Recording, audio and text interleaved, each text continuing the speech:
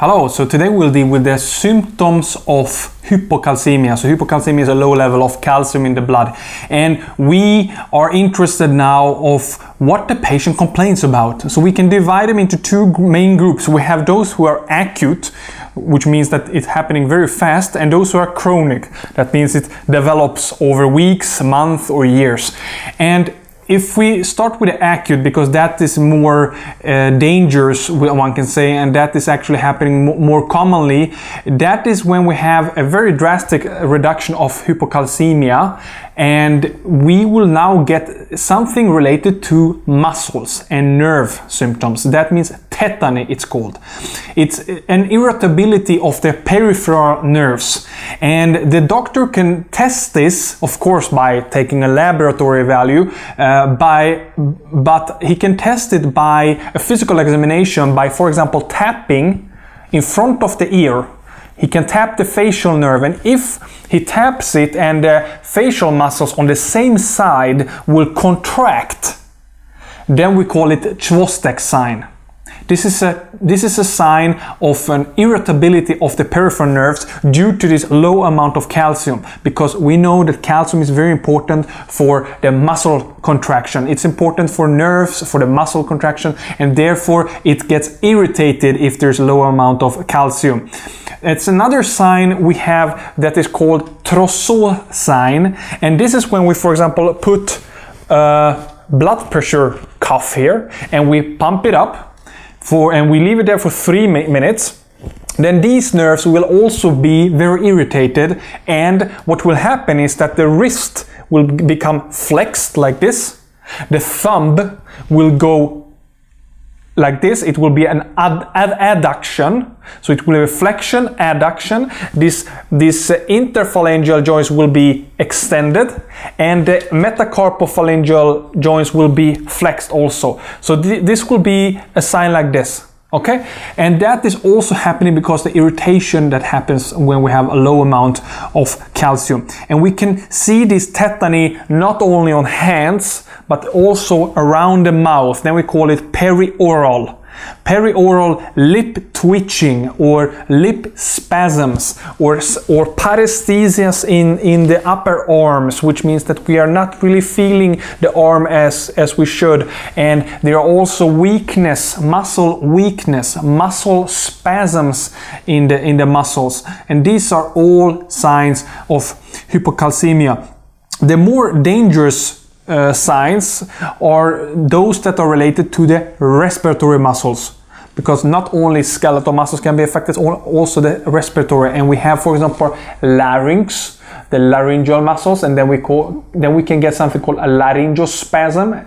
So the muscle spasms, and that's very dangerous because you can you can actually die if you get a severe spasm and uh, you don't get any um, air into into your lungs and the same goes with bronchospasm so it's a, a muscle spasm along, around the bronchus and these are all very severe. So whenever you think of hypocalcemia, a low level of calcium, always think of the peripheral nerves that are irritated and therefore the muscles are weak and they get spastic and they get they are they are cramping. So connect these two hypocalcemia with muscle spasms or uh, peripheral irritability.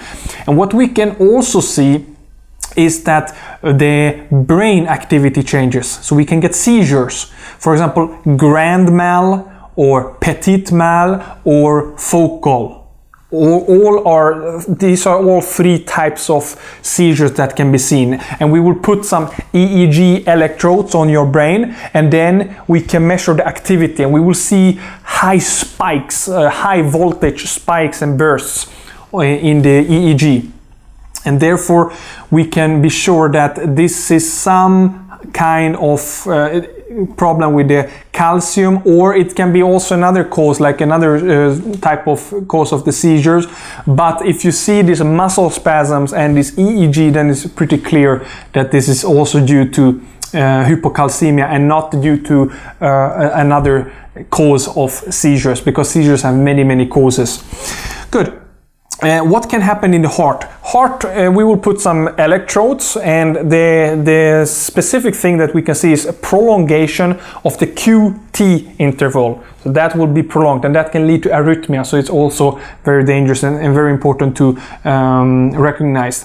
Also, papilledema, so edema around the eyes can be seen, and these are usually there when it's very severe. And actually, tetany is also uh, happening when it's very severe type of hypocalcemia. This means that the free ionized calcium is less than 1.1 millimole per liter and the total calcium is around less than 1.8 millimole per liter okay? Uh, because there's a difference here between free ionized and total. Total is the total calcium in the blood. That means that it's including those that are bound to albumin. Free ones are not bound to anything, these are free. And the laboratories that are more advanced, those can measure the free ionized one. And in, in this case, when it's less than 1.1, then it's a high risk of getting these um, type of tetanies that we see. Good, so that's it. I want to conclude now to just say that when you get hypocalcemia patient, you always need to think of any kind of twitching, muscle twitching around the mouth or paresthesias, the, a very interesting tingling sensation in the arms, spasms of the muscles, or this carpopedal spasm. That's this is what we saw in uh, uh, Chvostek sign, or no, in the Trousseau sign when we uh, pump this uh, uh, blood pressure cuff and we see this flexion of the wrist and we see an adduction of the thumb and extension of the uh, interphalangeal joint and the flexion of this metacarpophalangeal joints. That is typical Trousseau sign. And we can see that without the cuff also because if it is very severe then it can happen without that. And it will stay there for a couple of seconds or even minutes if it's so severe and the Chvostek sign was when we are tapping this nerve on either side and we see that when we're tapping we are irritating this nerve eh, because it's already irritated due to this low amount of calcium. And then we irritate it even more and it will contract the, these whole muscles of the facial facials that same side will contract and that is the Chvostek sign. So these two signs is uh, very interesting to remember.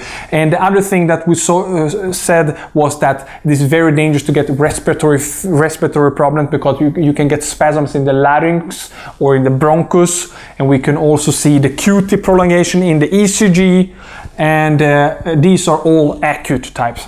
The chronic one I, I, didn't want to deal so much uh, with the chronic one in this presentation because these are very, very diffuse uh, kind of symptoms.